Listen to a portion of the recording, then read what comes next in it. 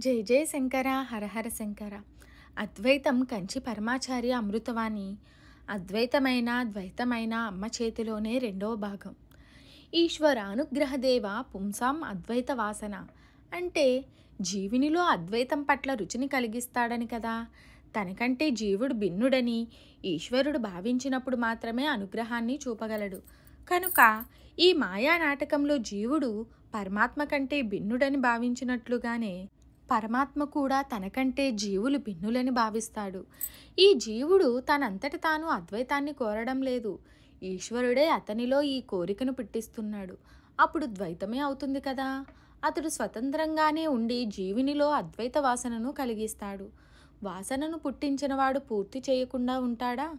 పోనీండు అతడు అనుభూతిని కలిగించడం కలిగించకపోవడం అతని వంతు. మనకేలా? తత్వాన్ని కలిగించడం అతని వంతు. అట్లా కలిగించేటట్లు అతనిని మార్చలేం. మన శక్తిని మించిన పని ప్రస్తుతం సగుణ రూపంలో అర్చిద్దాం. అట్టి దైతాన్ని ప్రస్తుతం మనం ఆశ్రయిస్తే ఇంకా తెలుసుకోవాల్సిన దానిని అతడే తెలుపుతాడు. అంతవరకు అణువులో అణువుగానున్న వాటిని ప్రాణంలో ప్రాణంగా ఉన్నవానిని అంటే అంతర్యామిని భజిద్దాం. ఇక అప్పుడు భేదం ఉండదు. అప్పుడు ఇద్దరూ ఒకటే అద్వైత అనుభావం కలుగుతుంది. అద్వైత సత్యం ముందే పట్టుబడదు.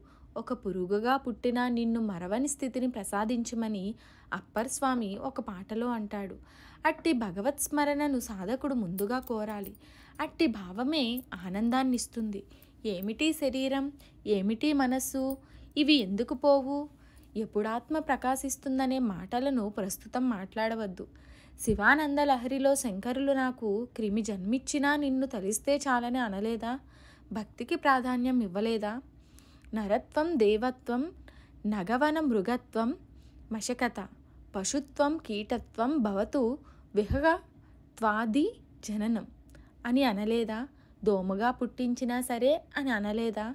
మానవ శరీరం ధరించి భక్తితో ఉండి కర్మలను చేస్తూ సమస్త ప్రాణులను ప్రేమిస్తూ ఉండగా నాకు ఈ జన్మ అక్కర్లేదు. పునర్జన్మ వద్దని ప్రార్థించడమేలా? ఆ జగదాంబను వేడడమే మన వంతు.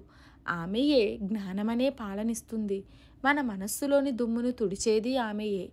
ఆమె మనల్ని ద్వైతంలో ముంచని లేదా విశిష్టాద్వైతంలో ముంచని అద్వైత స్థితిని ప్రసాదించని అంతా ఆమె చేతిలోనే. జై జై శంకర హరహర శంకర. మరిన్ని ఆధ్యాత్మిక విషయాల కోసం మా ఛానల్ను సబ్స్క్రైబ్ చేయండి.